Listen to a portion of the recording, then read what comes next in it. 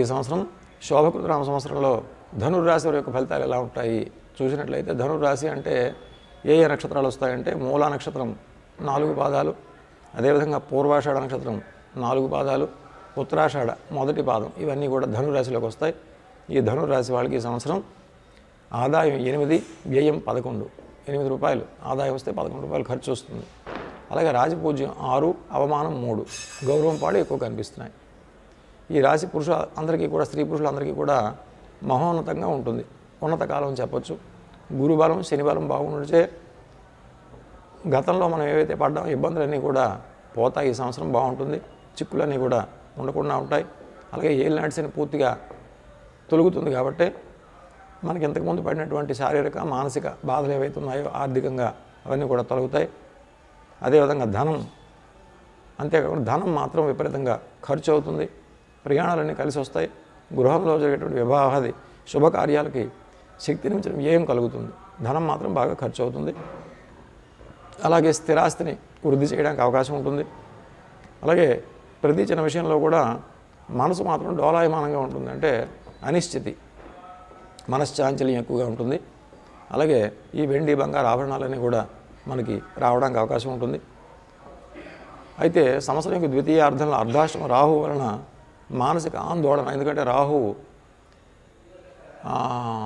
తలకి సంబంధించిన వాడు కాబట్టి ఈ మనశ్చాంచల్యం కానీ అలాగే ఆందోళన కానీ ఇవన్నీ కూడా ఎక్కువగా కలుగుతుంటాయి. ఉద్యోగులకు అనే విధంగా కలిసి వస్తుంది. గ్రహబలం బాగుండడం చేత మీ మాటకు ఎదురు లేకుండా ఉంటుంది. ఎంతటి అధికారైనా మీ సలహాలు తీసుకుంటారు. ప్రమోషన్తో కూడా బదిలాలు కూడా లభిస్తాయి.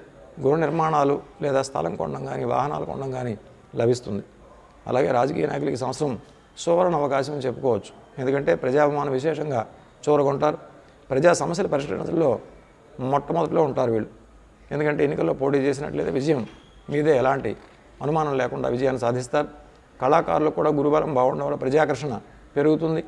అలాగే గాయన గాయకులు రచయితలు దర్శకులు టెక్నీషియన్స్కి అందరికీ కూడా మంచి అవార్డులు రివార్డులు లభిస్తాయి. వ్యాపారస్తులు కూడా ఈ సంవత్సరం చాలా బాగుంటుంది. అన్ని రకాల వ్యాపారాలు కూడా అనుకూలంగా ఉంటాయి. అనుకున్న వ్యాపారాలన్నీ జరిగి ఆశించిన లాభాలు పొందుతారు. అలాగే నూతన వ్యాపారాలు కూడా ప్రారంభిస్తారు. హోల్సేల్ రిటైల్ రంగంలో ఉన్న వాళ్ళకి కూడా చక్కగా బాగుంటుంది. ధరలు పెరగడం చేత మంచి లాభాలు వస్తాయి.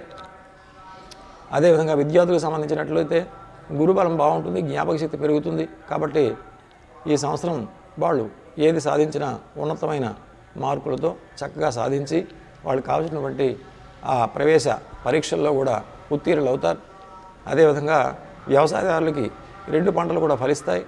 సంవత్సరం అంతా ఆదాయం బాగుంటుంది. కాబట్టి ముఖ్యంగా ఈ చేపలు రొయ్యలు ఏదైతే ఆక్వాకల్చర్ ఏదైతే ఉందో దానికి సంబంధించినటువంటి వ్యాపారం చేసే వాళ్ళకి చక్కగా బాగుంటుంది. అదేవిధంగా వాణిజ్య పంటలు కానీ పండ్ల తోటలు కాయగూరలు అందరికీ కూడా మంచి విశేషంగా లాభాలు వస్తాయి. స్త్రీలకు సంబంధించి ఈ సంవత్సరం పట్టిందల్లా బంగారం అన్నట్టు ఉంటుంది. ఎందుకంటే మీ మాటకు చక్కగా కుటుంబంలో అందరూ గౌరవిస్తారు. పేరు ప్రఖ్యాతులు పెరుగుతాయి. అదేవిధంగా ఇండ్ల స్థలాలు కొనడం కానీ గృహ నిర్మాణాలు కానీ అలాగే ఈ బంగారు వెండి ఆభరణాలు కొనడం కానీ ఇవన్నీ తటస్థిస్తాయి అదేవిధంగా ఉద్యోగాలు చేసేవారికి ప్రమోషన్స్ అవి కూడా కనిపిస్తాయి. అలాగే వివాహం కాని వారికి వివాహం అవడం అలాగే వివాహమైన వారికి సత్సంతానం కలగడం ఇవన్నీ కూడా కనిపిస్తాయి. అయితే ఈ సంవత్సరం ఈ ధనుర్రాశి వాళ్ళు చేయటువంటి శాంతులు ఏమిటి అని చూసినట్లయితే మనకి అంతా యోగం అంతా బాగుంది కాబట్టి ఈ రాశి వాళ్ళకి ఇతరుల ఇతరులకు మన పట్ల ఈర్ష్య అసూయ ఎక్కువగా ఉంటాయి. కాబట్టి దానికి సంబంధించి మంగళవార నియమాలు పాటించాలి. అంటే ఆంజనేయ స్వామి వారిని అర్చించడం అలాగే సుబ్రహ్మణ్య స్వామిని అర్చించడం అలాగే మేధా దక్షిణామూర్తికి అర్చన చేయడం ఇలాంటివన్నీ చేసినట్లయితే వారి యొక్క ఇబ్బందులన్నీ తొలగి ఈ సంవత్సరం అంతా చక్కగా సుభిక్షంగా ఉంటారు.